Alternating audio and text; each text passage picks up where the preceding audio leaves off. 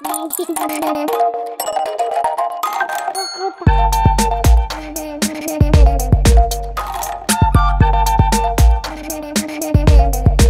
name's Olivia and I'm 14.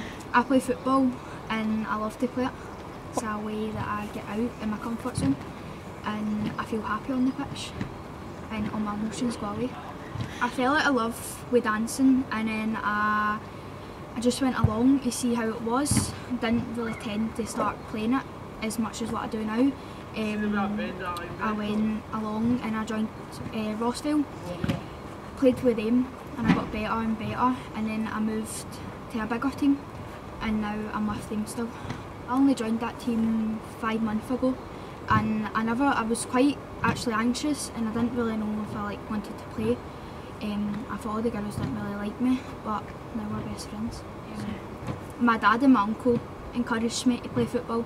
Um, my uncle was the one that actually got me out on the pitch um, that made me start playing football.